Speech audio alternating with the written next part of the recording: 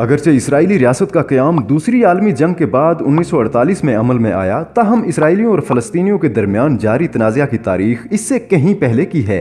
दरअसल तनाज़ा की बुनियाद क्या है और ये कैसे वकू पजीर हुआ, आज की इस वीडियो में हम आपको इस बारे में बता रहे हैं। पीजी प्राइम की नई दिलचस्प और मालूमती वीडियो में खुश आमदीद दो हज़ार आठ में अल जजीरा पर चलने वाली एक दस्तावेजी फ़िल्म के मुताबिक सत्रह में खिलाफत उस्मानिया के दौर में नेपोलियन बोनोपार्ट ने फ़लस्तीन में यहूदियों के लिए एक रियासत के क्याम की तजवीज़ पेश की थी, जिस पर उस वक्त अमल दरामद न हो सका।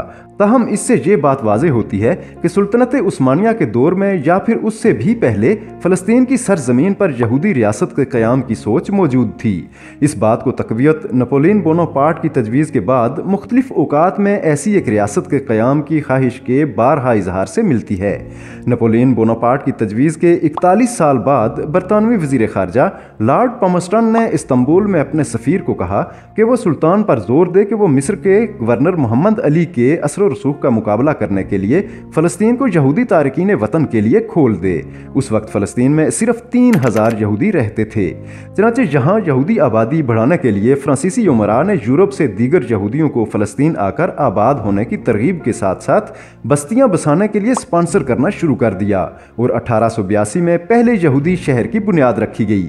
अठारह में ऑस्ट्रिया के एक मुसन्फ नथिन बन बॉम ने यहूदियों के लिए सिहोनियत की असलाह ईजाद की, जब वो मशरकी यूरोप से फ़लस्तीन में मुसलसल आ रहे थे। 1890 की दहाई के करीबन निसफ में ऑस्ट्रिया के एक सहाफ़ी, डॉक्टर थ्यूडोर हर्जल की किताब, द ज्यूश स्टेट मंजर आम पर आई, जिसमें 20वीं सदी की आमद के साथ ऐसे ही एक मुल्क के क़याम का तस्वुर पेश किया गया। अठारह सौ सतानवे में स्विट्ज़रलैंड के शहर बासल में पहली सिहोनी कांग्रेस मुनद की गई, जिसमें यहूदियों के लिए एक रियासत के क़याम के लिए यूरोपी ताकतों की लॉबिंग करने के मनसूबे पर बातचीत की गई। 1907 तक बरतानिया मशर के वस्ती में अपना गलबा मज़बूत करने के लिए एक बफर स्टेट के क्याम की ज़रूरत महसूस कर रहा था। उसी दौर में एक बरतानवी सिहोनी रहनमा, जो एक हयातियाती कीमिया दान भी था, ने बैतुल मकदस में जाफा के करीब ज़मीन खरीदी और वहाँ एक कंपनी कायम की। तीन साल के अरसा में शुमाली फ़लस्तीन के इलाका मर्ज बिन आमर में हज़ारों एकड़ ज़मीन खरीदी गई, जहाँ से मकामी किसानों को निकाल कर यूरोप और यमन से आने वाले यहूदियों को आबाद किया गया।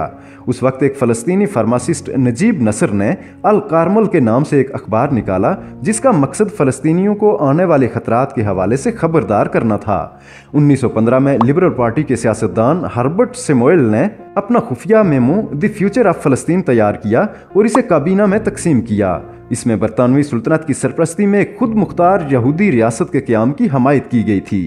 एक साल बाद इन सफारिशात पर सर मार्क साइक्स और फ्रांसवा जार्जस पिकोट ने ज़ाती तौर पर तबादला ख्याल किया। ये दोनों सफारतकार थे। 9 नवंबर 1917 को बरतानवी हुकूमत के एलामिया के बाद डेविड लाइट जॉर्ज वज़ीर खारजा Arthur Balfour, Walter Rothschild baron Ruth child के दरमियान एक ख़त के ज़रिए अर्ज़ फ़लस्तीन पर यहूदियों के लिए एक मुल्क के क़याम की बाबा तौर पर हमायत का ऐलान कर दिया गया।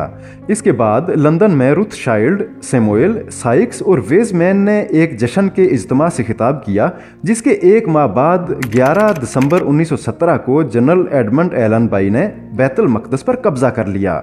पहली आलमी जंग के बाद अमेरिका ने उखड़ती हुई सुल्तनत उस्मानिया के गैर तुर्क इलाकों के बारे में एक माहिर तालीम और एक दानशवार की मदद से एक रिपोर्ट जारी की, जिसके मुताबिक फ़लस्तीन के करीबन नब्बे फ़ीसद गैर यहूदी आबादी ने सिहोनी मनसूबे की मुखालफत की थी।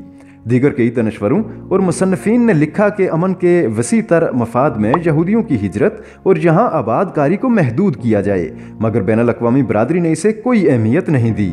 1919 में पेरिस में मुनदा अमन कॉन्फ्रेंस में lieutenant colonel T E Lawrence, जिसे लॉरेंस ऑफ़ अरेबिया कहा जाता है, यहूदी वफद के रहनमा वेजमैन और इसके अरब हम मनसब शहजादा फैसल बिन हुसैन के दरमियान एक माहदे पर दस्तखत के लिए सालसी की, जिसमें फ़लस्तीन में एक यहूदी मुल्क और मशरक वस्ती में एक आज़ाद अरब कौम के क़्याम पर इतफाक़ किया गया। 1922 में लीग ऑफ़ नेशंस की तरफ़ से सेमोइल के दायरा इख्तियार में फ़लस्तीन पर हुकूमत करने के बरतानवी मैंडेट को तस्लीम कर लिया गया। चनाचे यहाँ यहूदियों की मौजूदगी बरकरार रखने के लिए कम अज़ कम सौ कानूनी इकदाम नाफिज किए गए, जिनमें इबरानी ज़ुबान को सरकारी ज़ुबान का दर्जा देना, अलग से एक यहूदी तालीमी निज़ाम कायम करना और यहूदी फ़ौज के क़्याम की इजाज़त देना शामिल था। इस दौरान यहूदी इमिग्रेशन के खिलाफ बड़े पैमाने पर मुजाहरों का आगाज़ हुआ। फ़लस्तीनियों ने बड़ी ताकतों की पुश्त पनाई में गासिबाना कब्जे का मुकाबला करने की तहरीक चलाई, मगर नाकाम हुए। अगस्त उन्नीस में जब बिलफोर ने मकबूजा बैतुल मकदस का दौरा किया तो फ़लस्तीनियों ने सयाह झंडे लहराए और दीवार बराक, जिसे दीवार गरिया भी कहा जाता है, पर 250 यहूदी और अरब एक सानिया में जान से मारे गए और कई जख्मी हुए। इस वाक़ को बगावत बुराक के नाम से याद किया जाता है। सर जॉन चांसलर ने बदमनी में हिस्सा लेने के जुर्म में तीन मुसलमानों को मौत के घाट उतार दिया, मगर ये एहतजाज जारी रहा। 1931 से 1935 तक यहाँ आबाद यहूदियों की तादाद बासठ तक जा पहुँची। इसी साल मुस्लिम इनकलाबी रहनमा अजीज़ुद्दीन अलकसाम को बरतानवी फौजियों ने गोली मारकर शहीद कर दिया। उन्नीस सौ उनतालीस में दुनिया एक मरतबा फिर आलमी जंग का शिकार हुई और जर्मनी को 60 लाख यहूदियों के कत्लेआम का जिम्मेदार करार दिया गया। 1942 में न्यूयॉर्क में मुनदा एक कॉन्फ्रेंस की वजह से अमरीका के सिहोनियों के साथ तल्लुकात मज़बूत हो गए। 1945 में फतूहत के बाद आलमी ताकतों की तवज्जो एक मरतबा फिर फ़लस्तीन की तरफ़ मबजूल हुई। चनाचे उन्नीस में मुतनाज़ इलाका का दो रियासती हल वजूद में आया, एक रियासत मुसलमानों और दूसरी यहूदियों के लिए।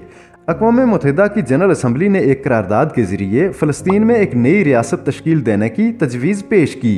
ख्याल किया जाता है कि यह करारदाद अमरीका के सिफारती दबाव के नतीजे में मंजूर हुई थी। मगर फ़लस्तीनियों ने इस बुनियाद पर कि फ़लस्तीन में यहूदियों के पास साढ़े पाँच फ़ीसद से ज़्यादा ज़मीन नहीं। इसलिए उन्हें बैन अवी कानूनी हैसियत हासिल करने का हक नहीं है यह करारदाद मुस्तरद कर दी इसके बाद खाना जंगी शुरू हो गई। अगले साल 14 मई 1948 को बरतानवी मैंडेट के अख्ताम के साथ ही इसराइली रियासत कायम कर दी गई, जिसे अमेरिका और सोवियत यूनियन ने फ़ौरन तस्लीम कर लिया।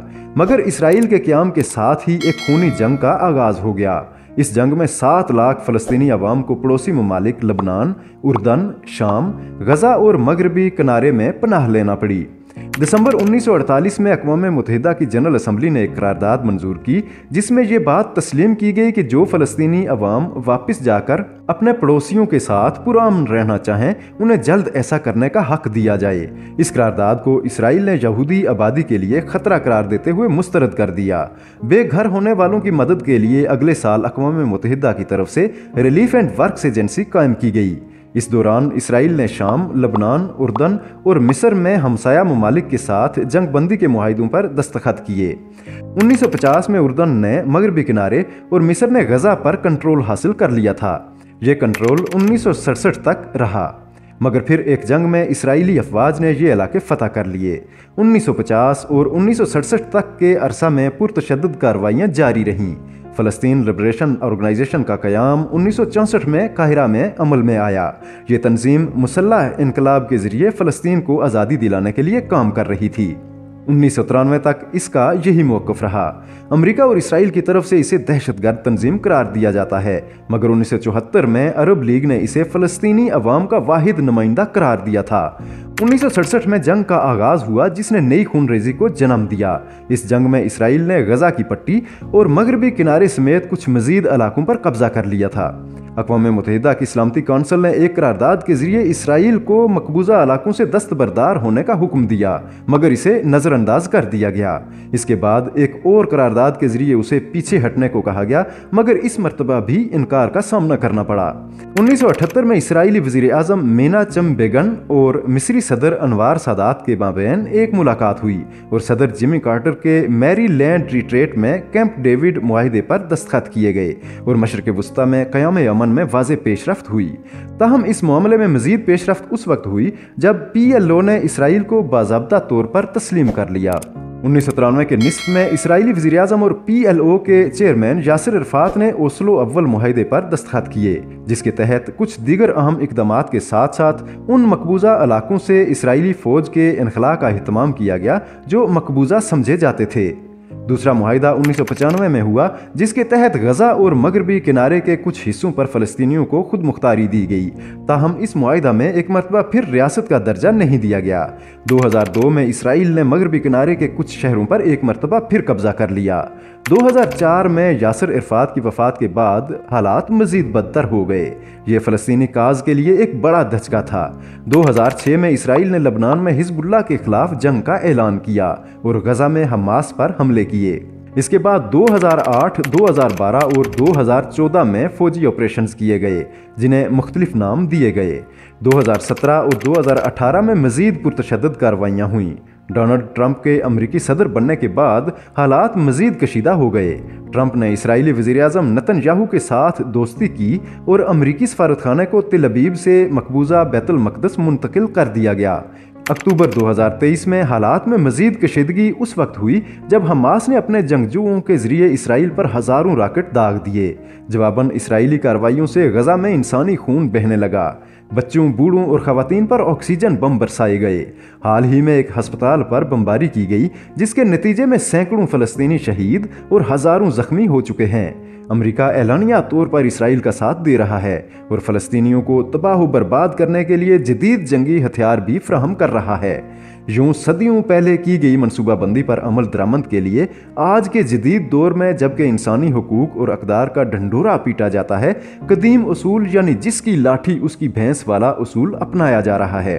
और जदीद इंसानी मुआशरा इंसानियत की तजलील पर मुजरिमाना खामोशी इख्तियार किए हुए है। वीडियो पसंद आई है तो लाइक और शेयर कर दें और मजीद ऐसी वीडियोज़ के लिए पीजी प्राइम सब्सक्राइब कर लें।